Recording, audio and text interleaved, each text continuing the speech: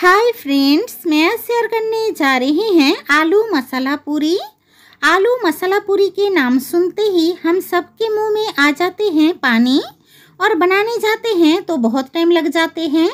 लेकिन अब आपको लंबा टाइम लगाने की कोई ज़रूरत नहीं है, क्योंकि आज मैं बिना आटा गूँथे, बिना बेले एकदम परफेक्ट फूले फूले आलू मसाला पूरी बनाना बताएँगे। अगर वीडियो पसंद आए तो लाइक कीजिए और अपने फ्रेंड्स और फैमिली मेंबर के साथ ज़रूर शेयर कीजिए। तो आइए फ्रेंड देर ना करते हुए रेसिपी देख लेते हैं।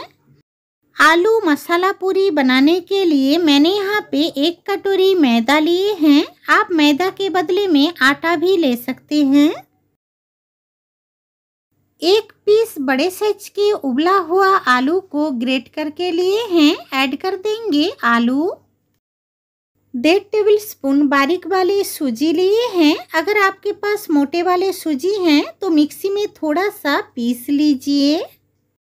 मैदा के साथ आलू और सूजी को अच्छे से मिक्स कर लेंगे, जिससे कि सूजी और आलू जो है, वो मैदा के साथ अच्छे से घुल मिल जाए। मैंने एक बीटर की मदद से मिक्स कर रही हूँ, लेकिन आप चाहें तो हाथों से भी मिक्स कर सकते हैं। थोड़ा थोड़ा पानी डालते हुए बैटर बना लेंगे। एक साथ ज़्यादा पानी ना डालें, वरना बैटर के अंदर लम्स रह जाएगा।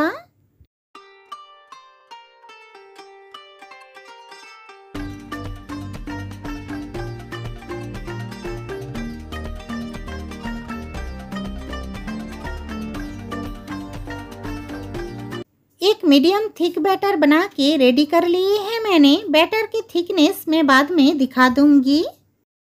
ऐड कर देंगे स्वाद अनुसार नमक। हाफ़ टी स्पून जीरा। एक टीस्पून भर के अजवाइन लिए हैं। अजवाइन को इस तरीके से मसल के डालेंगे।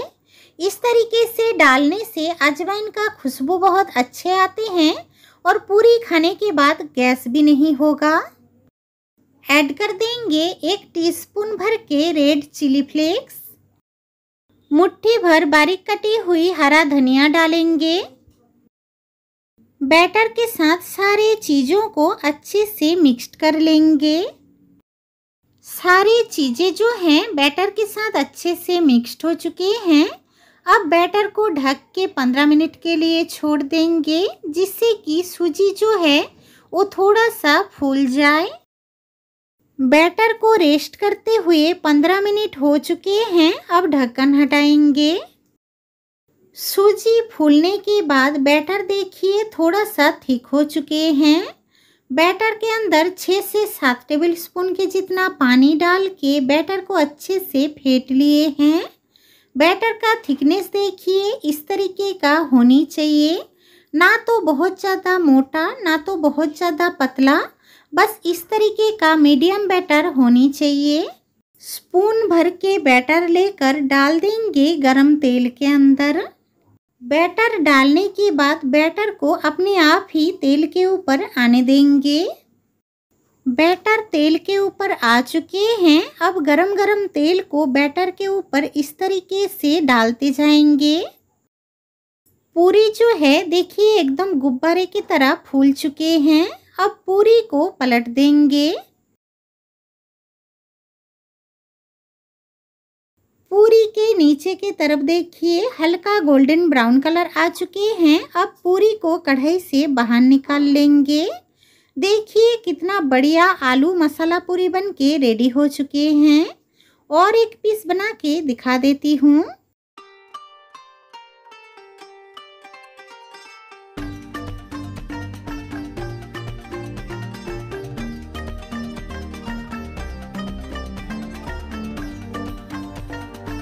एक बार इस तरीके से बनी हुई आलू मसाला पूरी को घर में ज़रूर बनाइए और मुझे कमेंट करके ज़रूर बताना कि आपके बनी हुई आलू मसाला पूरी के रेसिपी कैसे बने हैं।